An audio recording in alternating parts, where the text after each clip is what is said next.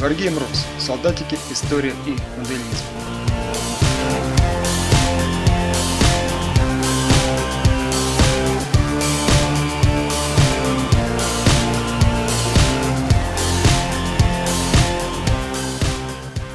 Wargame Рус. Тевтобурский лес. Часть первая. В этом фильме поговорим про сражение в Тевтобурском лесу между римскими легионерами во главе с Варом и объединенными войсками германских племен под руководством Армения. Мы постараемся развеять мифы и легенды, окутывающие эту битву, и докопаться до истины с научной точки зрения. Я разделю свое повествование на три фильма.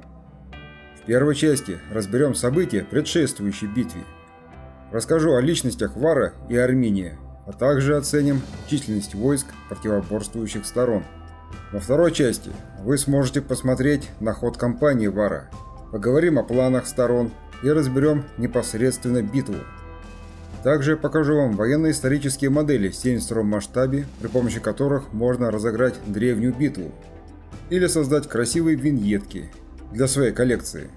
В третьей части поговорим о последствиях битвы, судьбе самого Армения и опять же про моделизм. Покажу великолепную диораму Игоря Синицына.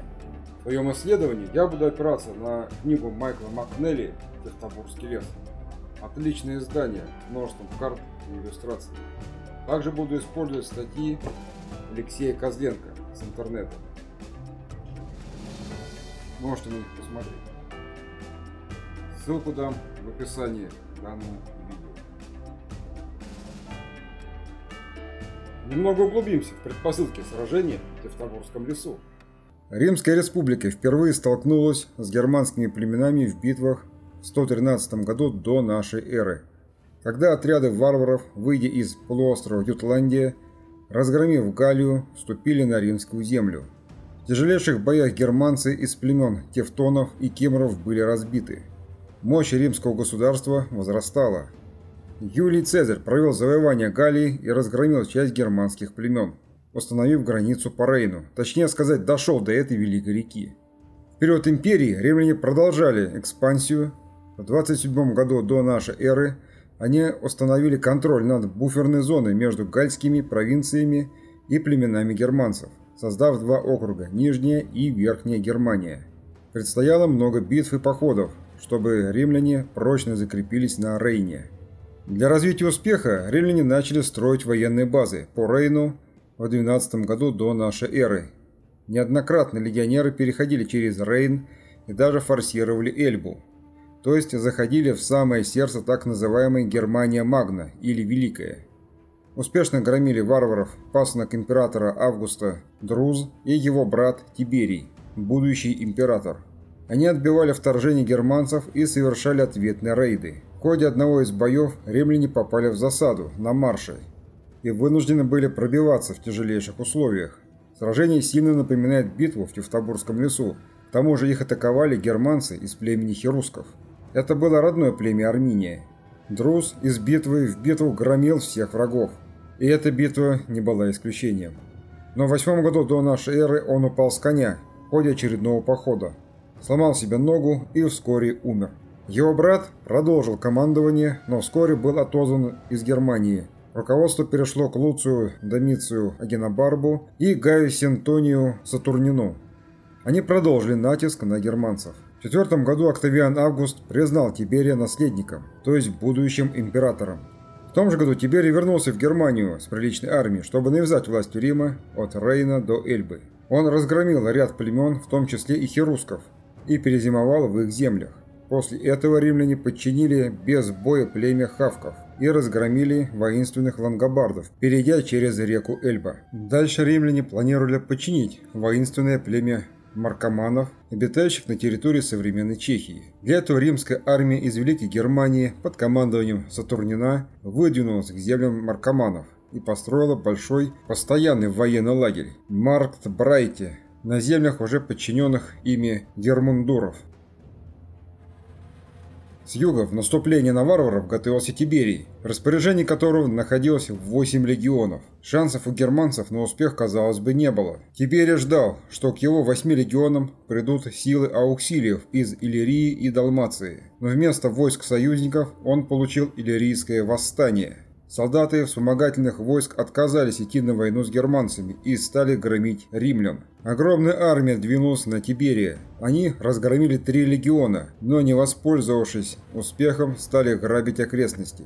Тиберия заключил союз с маркоманами, на которых только что хотел идти войной. Германцы стали воевать с римлянами против бунтующих иллирийцев. Кто-то скажет, что вот какие германцы недальновидные. А если бы они ударили по римлянам, то тогда бы я, конечно, не знаю, какими мотивами руководствовался вождь маркоманов Маработ, выступая за Тиберия, но можно предположить, что он собрал под своим руководством большую армию, готовясь сражаться с римлянами. Но войны не случилось. Эта армия просто бы распалась или еще хуже, передралась между собой, чтобы сохранить свой авторитет, вождь Маработ дал своим воинам и племенным вождям возможность воевать и получать добычу, начав боевые действия в богатых римских провинциях. Тем самым он укрепил свою власть. Атаковать ослабленных римлян он поостерегся, так как подозревал, что те могут быстро восстановить военный потенциал, а ему набрать новых воинов будет сложно. Видимо, Маработ оказался дальновидным политиком. Октавиан Август провел в седьмом году нашей эры массовую мобилизацию и собрал 10 новых легионов. Если что, это 50 тысяч легионеров и примерно столько же вспомогательных войск, причем прилично экипированных. Мобилизационные способности римлян просто поражают. До 9 года имперские войска воевали с повстанцами и победили их. Пока империя наводила порядок в римских провинциях на Адриатическом побережье, на север командовать германскими легионами в седьмом году был назначен Публий Квинтилий Вар. Это был уже пожилой мужчина с богатой биографией.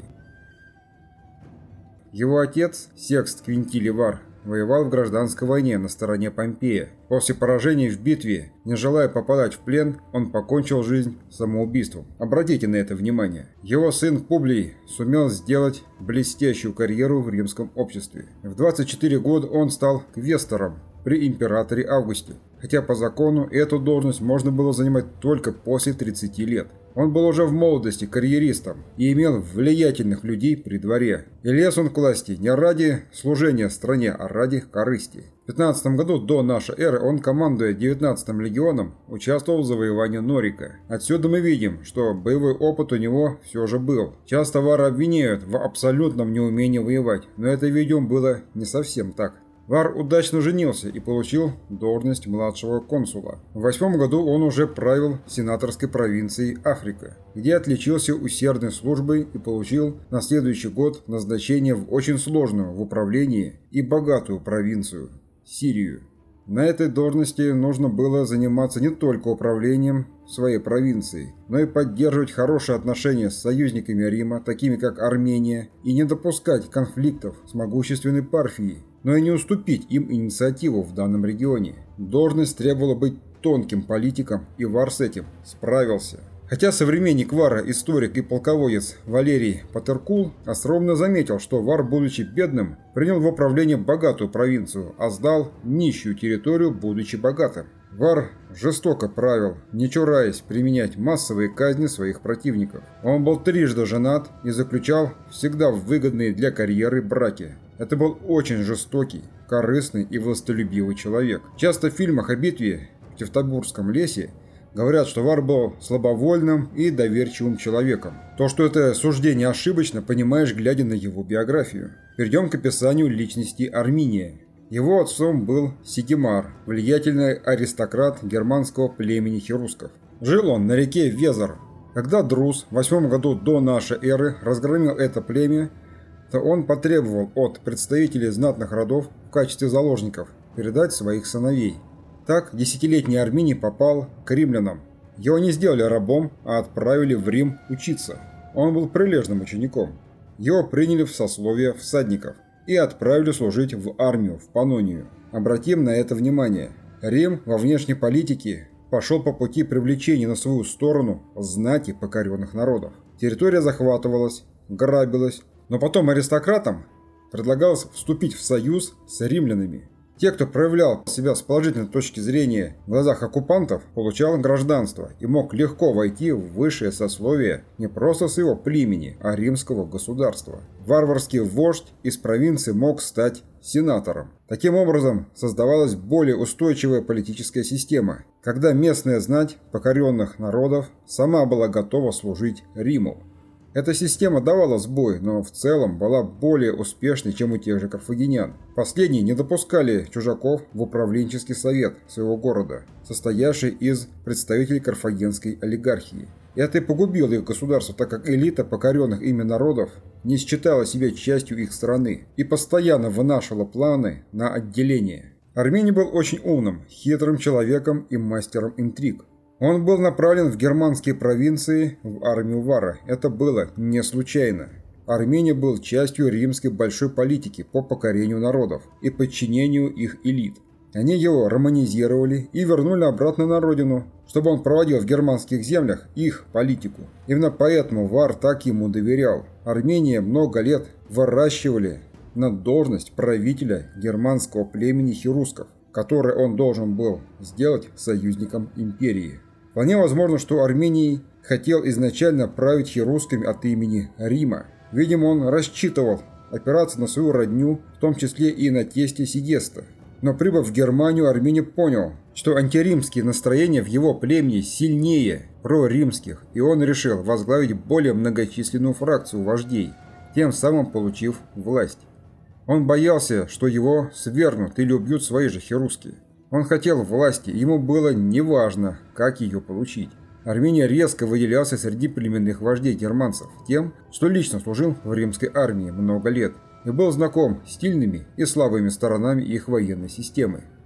Поговорим про это по ходу повествования.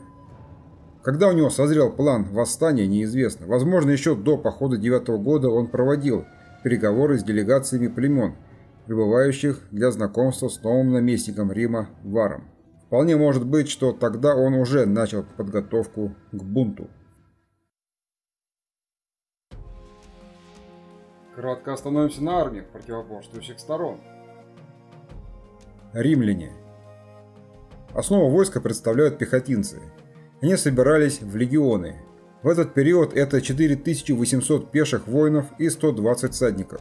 Это были хорошо вооруженные и обученные солдаты, служившие за жалование и военную добычу. Основным шлемом в этот период был кулус и имперский гальский тип. На воинах надеты кольчуги. Появляются уже и знаменитые лорики-сегментаты. Щиты овальные с изгибом. Начинают уже обрезать верх и низ щита. Они постепенно эволюционируют в имперские скутумы, которые известны, думаю, всем любителям военной истории. Для ближнего боя служат мечи и кинжалы, а для дистанционного – тяжелые пилумы и легкий гасты велитарис.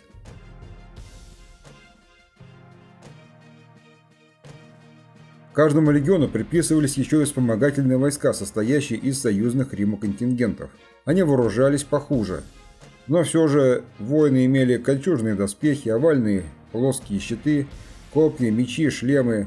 В состав ауксилия входили бойцы как ближнего боя, так и различные застрельщики и всадники. Сила римской армии была в дисциплине, умении держать строй и поддерживать друг друга в бою, а также в умении маневрировать на поле боя, что для большинства войск, состоявших из ополчения, было большой проблемой. Когда противник приближался к римской боевой линии, то в него сначала летели легкие дротики. На канале Легио есть видео с реконструкцией использования такого оружия. Боец идет медленно и по команде производит бросок. Тренированный человек, используя метод кистевого броска, способен запустить дротик на 30 метров. Часто говорят, что на такой дистанции дротики ничего не могут пробить. Но давайте посмотрим. Вот доска, и она пробита. Представьте, что наконечник влез вам в руку или прижал щит к телу и прибил его к вам. Очень эффективное оружие. Когда противник подходит на более близкую дистанцию, буквально метров на 10-15, то в него летят тяжелые пилумы. Они очень эффективно пробивают доспехи и щиты. Вы можете увидеть, как реконструкторы из 5-го Македонского легиона метают пилум в щит. Если удастся нормально попасть, то эффект впечатляющий. Если противник после такого массированного обстрела не обращался в бегство, то в дело шли мечи. Реконструкция с канала Легио. Вы видите, как легионеры держат строй и двигаются на врага. Никто никуда не бежал. Солдаты двигаются на противника, сохраняя строй. Важно было, чтобы он был линейным. Никто не выдавался вперед и не проваливался назад. Сближались поэтому медленно. Обратите внимание на стойку солдат в бою. Он весь прикрыт и наносит короткие колющие удары, стараясь не открываться для ответного удара противника. Опрокинуть строй таких бойцов будет крайне сложно. Доспехи солдат защищали их от большинства ударов. Сколько же было воинов у Квинтилия Вара в этом знаменитом бою? В Верхней и Нижней Германии находилось 5 римских легионов. Примерно там было еще столько же по численности ауксилиев. Вспомогательные части базировались как рядом с легионерами, так и в отдельных лагерях, охраняя ключевые точки в обороне границы и поддерживая связь между легионами. Варов в походе было три легиона из пяти. Каждый легион перед походом в лагере оставил по одной из десяти когорт, плюс больных, раненых и тому подобное. Также однозначно был некомплект личного состава, и идеальной штатной численности легион не мог иметь. Приблизительно каждый легион ВАР имел 4360 воинов и 1200 некомбатантов, то есть гражданских. В войске было 9 отрядов ауксилиев. Они состояли из 480 солдат и 20 некомбатантов каждая. И это в идеале и на начало похода. Максимум у Вара в начале похода было 17 тысяч воинов и 3800 гражданских. Согласно Кассию Диону, в войске было много гражданских лиц, в том числе и прислуги Вара.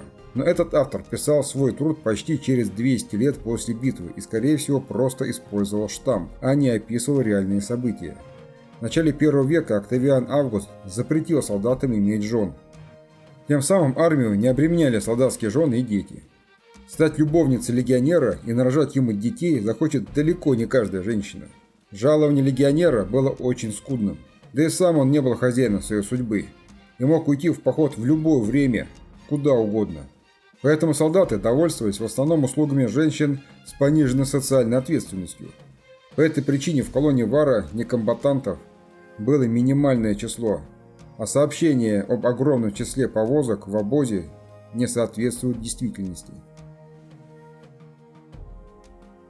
Войско германцев состояло из двух частей. Первая – это дружина вождей. Счет бойцов в этих отрядах велся на десятки. Может, у какого-то влиятельного вождя и переваливал за сотню.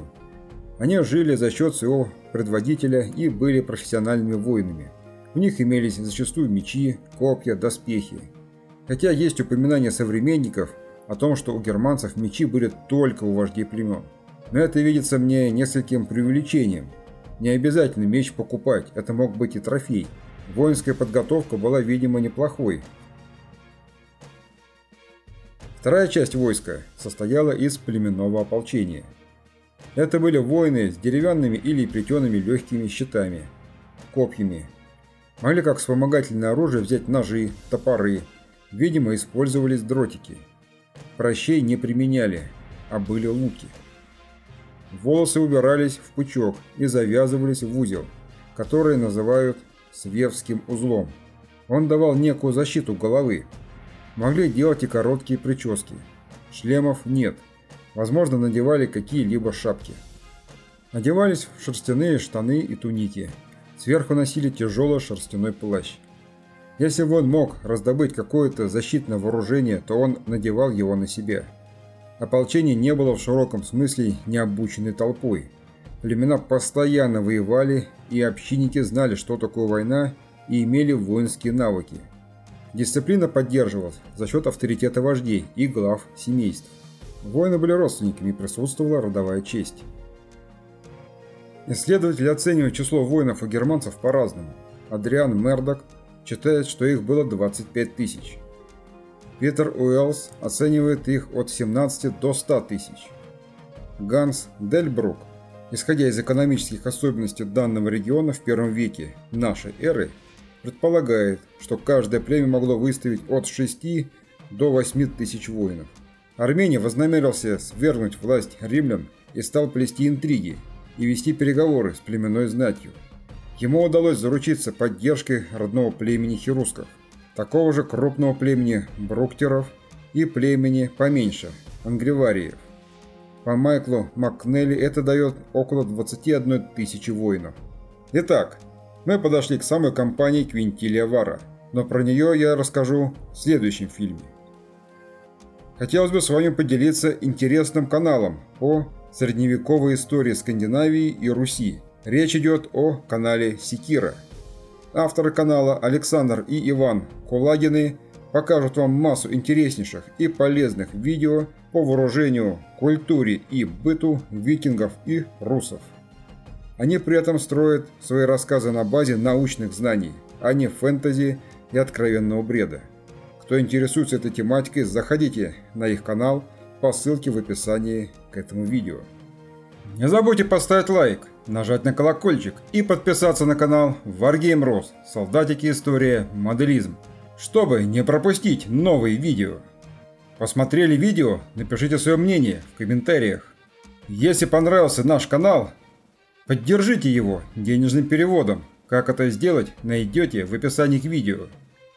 Кликай по этим ссылкам и смотри интересные фильмы